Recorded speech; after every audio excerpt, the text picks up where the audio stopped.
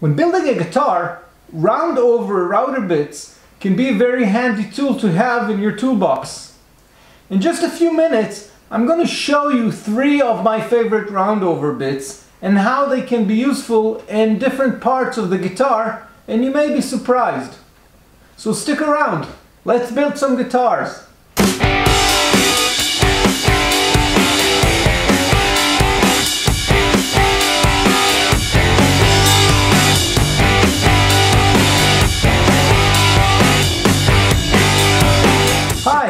I'm Yoav and this is the Electric Luthier.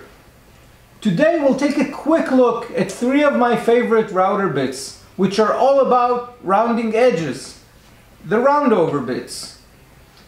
The different sizes are great for different radii of a round edge, but also give you options for some less conventional uses when building a guitar. I'll go through all three and show you how you can save time and effort while getting great results fairly quickly. A few words about the anatomy of the roundover bits. These bits will have a shaft, a blade, and a ball bearing. The shaft usually comes as quarter an inch, three eighths of an inch, or half an inch if your router is from the US and uses inches, and 6 millimeters, 8 millimeters, and 12 millimeters for the metrics. The shaft will be one piece with the blade which will have round concave profile. Most bits will have a double blade. The bearing is there to guide the router along the edge and therefore should have the exact same diameter as the inner side of the blade. Make sure you're buying the correct shaft to fit your router or trimmer. And if you're ordering from overseas, make sure you know if you're using millimeters or inches. They do not match. Half an inch is 12.7 millimeters and a 12 millimeter beat may not fit a half inch router collet. Let's start with a small one. If you're not binding the guitar and you want a subtle rounded edge, just a bit more than you'd get by sanding the edge, this is the one. This little bit will give a nice subtle edge. To maintain this roundness, you'll probably not want to sand it with grits smaller than 220. A couple of things to look for when setting up your bit and router or trimmer. First, Check for the integrity of the ball bearing. This one came with a cheap Chinese set. I think the whole set was under $20, so my expectations weren't too high to begin with. But when you see a wobbly bearing, you do not want to use it anymore. You may damage your guitar. If the bearing is not firm and flush with the blade, the cutting will not be either. You can easily replace the bearing itself or just get a new bit. It's not a bad idea to have some spare bearings or even borrow from another one from the same set. Just make sure it has the same diameter. The second thing to look for is that the other side of the blade is flush with the base or the table plane if that's how you're using it. If the bit is protruding too much, the edge of the blade will create a step before the rounding.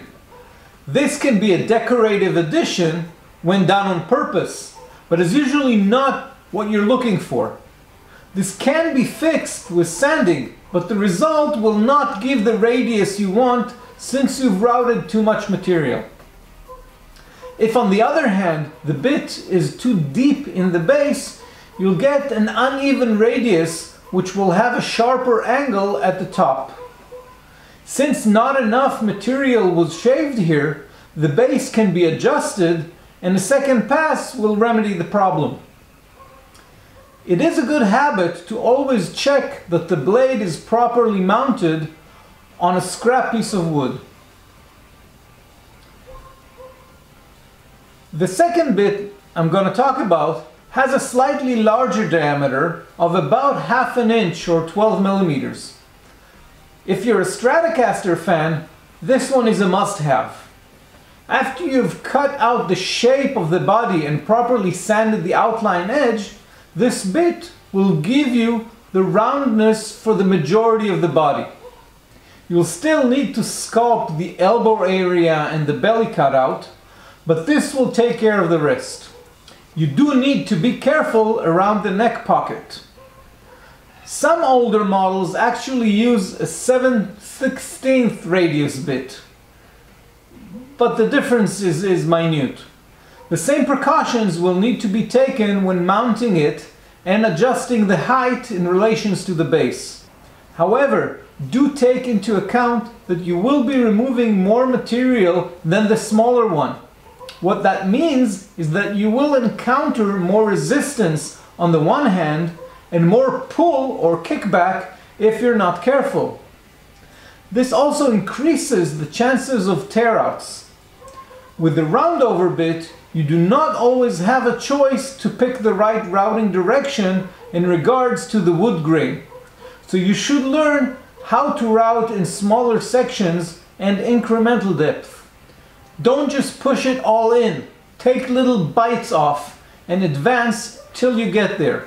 You can always have a final pass to smooth out any inconsistencies.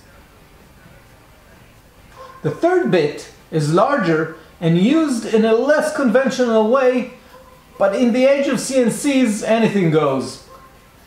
This is a non-even radius of about one inch. You can get similar bits with specs matching your preference, but the principle is the same. I use this bit for rounding the back of the neck. One pass on each side will give you a perfect U-shape. If you prefer a rounder C cross section or a vintage V, you can either file and sand a bit more to achieve just that, or you may be able to find just the right bit for the profile that you desire. If you're going to manually finish it up, you can even do a non-symmetrical shape neck. What I'm getting at is that you will eliminate about 95% of the rough grinding and filing with this simple bit. A few tips for routing the back of the neck. This will definitely be better done on a table and not with a handheld router. Holding your router straight, especially after you've done one side, is next to impossible because you have very little flat area. If you had to, I would make a jig to support it. Take the thickness into account with the fretboard. You may be left with a thicker spine in the middle of the back, between the two routes, and you can sand or plane that manually. If you want the thickness to be gradual, you should sand it flat with the gradual thickness before routing. Remember to take into account the headstock and volute on one side and the heel on the other side. Don't route too far measure and mark your limits taking the whole radius into account. And lastly, I have to remind everyone who's not experienced with routers to give them that extra measure of attention and respect. They are fast, sharp, loud, and make a lot of sawdust. Be careful and use protective gear for your eyes, ears, mouth, and nose. I do encourage testing and playing around with scrap pieces of wood to get used to these tools and make all the little mistakes and mishaps as painless as possible for both you and your guitar. I hope this was helpful and will help you get into those round edges with ease. If you want more information about building electric guitars, make sure to subscribe, hit the bell button, to get notified. Check out the links below and come visit us at theelectricluthier.com.